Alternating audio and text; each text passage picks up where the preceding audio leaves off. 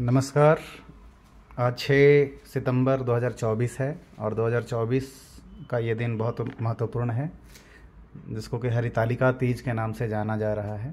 और ये व्रत सुहागन लेडीज़ लोग अपने पति के लंबी आयु के लिए करती हैं। और इसमें ख़ास बात ये होता है कि लगभग 36 घंटे का बिना अन्न और जल का रहना पड़ता है। उसके बाद में ही ये लोग पारण करते हैं। और इसमें देखेंगे, बहुत इम्पोर्टेंट गुजिया हो गया और पापड़ विथ नारियल बुरादा। भगवान शंकर जी और पार्वती के लिए समर्पित होता है और उसके बाद में श्रृंगार का जो सामान होता है, वो दान दिया जाता है। इसमें हरितालिका व्रत कथा ज़रूर सुनना चाहिए।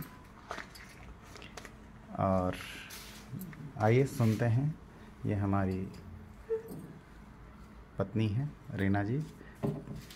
कैसा लग रहा है? सुबह से लगभग करीब करीब 20 घंटे से ऊपर हो गया। जी। अन्न जल गए हुए। कैसा लग रहा है? बहुत अच्छा। और ये दो बच्चे हैं। बड़ी बेटी वेदिका। कैसा लग रहा है? हरितालिका तीज? मस्त। मस्त लग रहा है।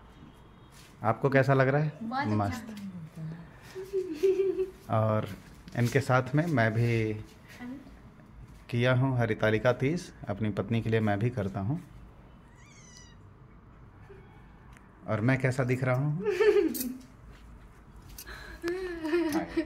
बहुत अच्छा लगता है। मैं भी अपनी पत्नी की लंबी आयु के लिए हरितालिका तीज करता हूँ।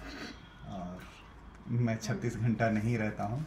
करीब करीब 24 घंटे तक मैं रहता हूँ, उसके बाद पारण कर लेता हूँ।